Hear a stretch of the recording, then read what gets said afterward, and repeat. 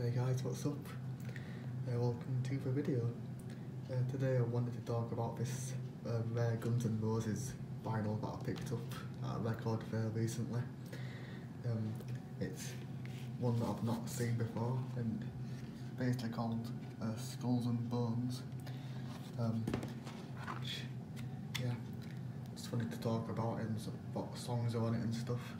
Uh, this is the vinyl which is a picture vinyl, which is pretty much the same as the cover. Um, got the Guns N' Roses, got a skull and gun and rose, which obviously ties in with the title of the vinyl. And then the back, a picture of the original Appetite lineup, and the track listing, which is also the back cover of the sleeve. So, yeah. So I'm gonna go through a run through of all the songs on there. I've just listened to them now. So there's Whole Lot of Rosie, which is an ACDC track. I'm sure you'll all know that, which Guns N' Roses performed quite regularly back in the, the early days, back in like 87.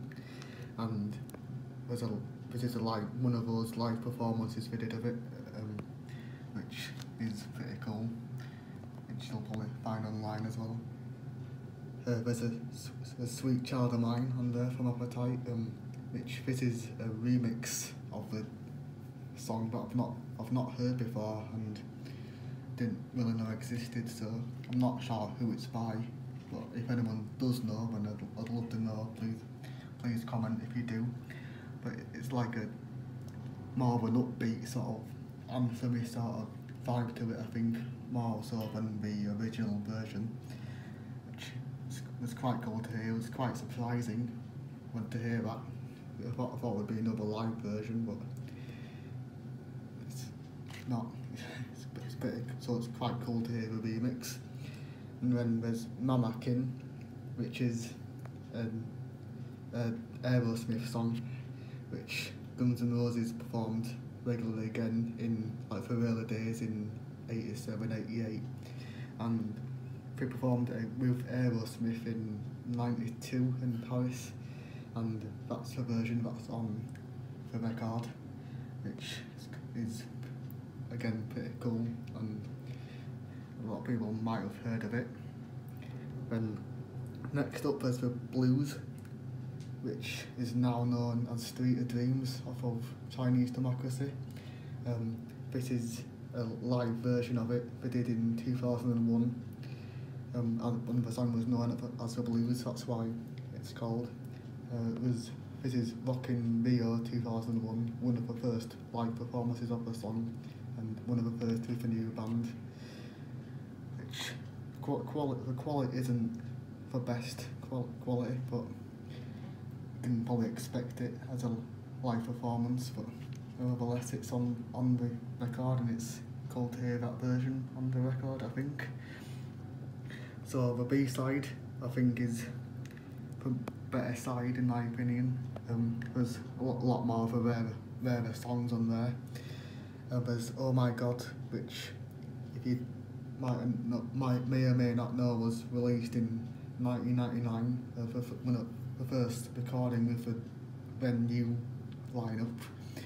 Um, it was released for the en- end of, as a single for the End of Days soundtrack, um, which is a film featuring Arnold, Arnold Schwarzenegger, if you didn't know.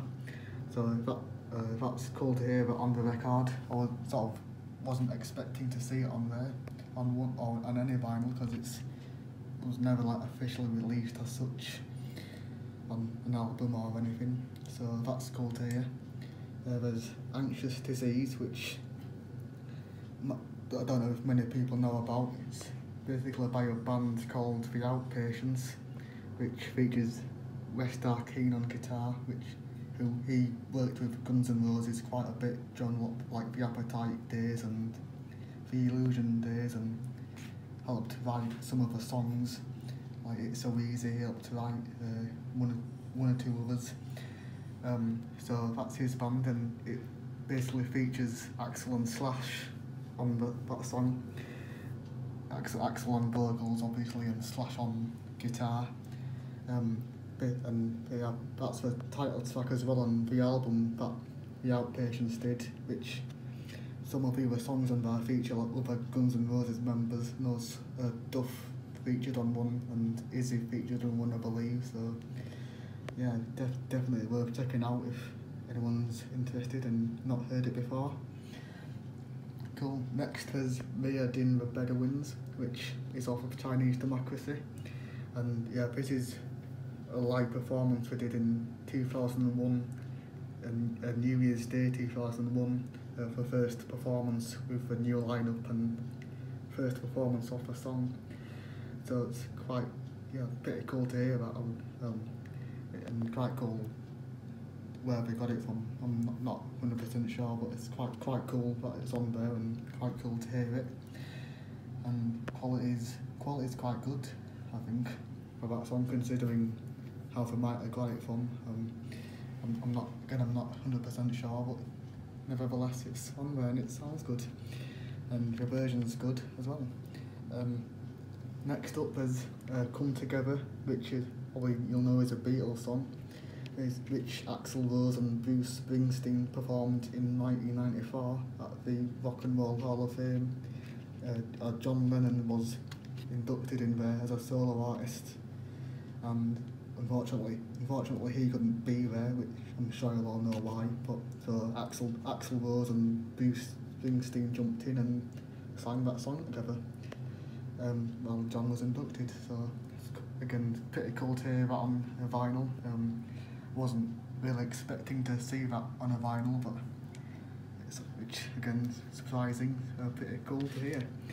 And last there's a song called Under My Wheels, which I didn't really know much about prior to getting the vinyl, but it's and as far as I know it's an Alice Alice Cooper song, um, which he wrote in '71 I believe for the and released in '71 for the what, what album we were doing then.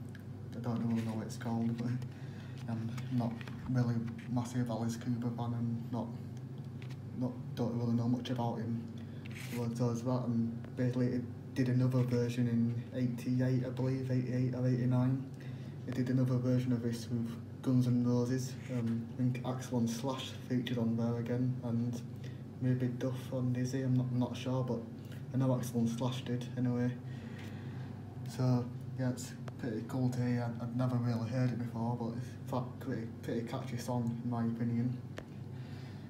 And yeah, so that's basically it. Um, overall, I'm quite pretty happy with the vinyl. You know, it's definitely worth getting. It's only cost me 20 quid, which is pretty pretty good for what it is, I think. And yeah, that's it. So I'll show you the cover. Cover's pretty simple and now I've been through it. So yeah, I'll, um, I've got one or two more rare vinyls that I'll try and review at some point.